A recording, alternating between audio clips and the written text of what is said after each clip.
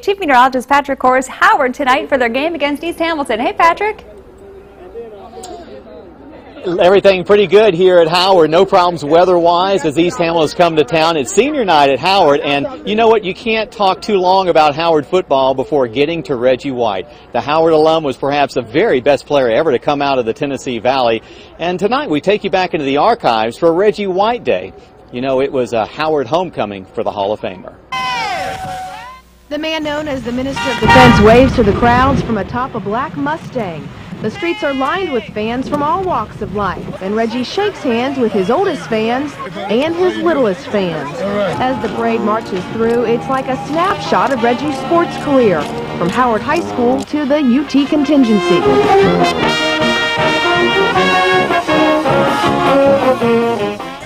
Even the Cheeseheads made an appearance. But in Chattanooga, the parade ends where it all began for Reggie, Howard High School. As he walks into his alma mater, the ticker tape is flying, the crowd is deafening.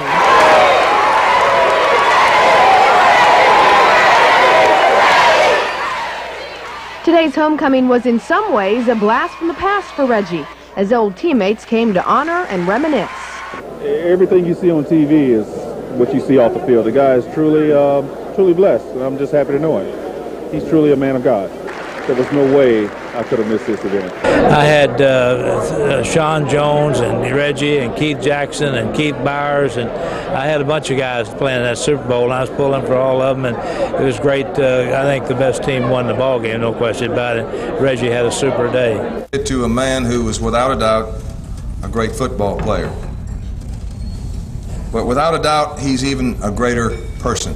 This man is a servant first. And now he's not just a great football player, he's not just a great athlete, he's a great leader of men and women. And he's one of the greatest role models in America today. If you drive over there today, you'll see that the road leading to that stadium is Reggie White Boulevard. We're very proud. And it brought tears to this six foot five football player's eyes.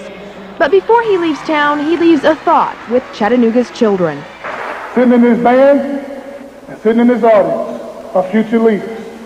The question is, are you going to use your ability to, to lead, or are you going to allow your ability to use to be led?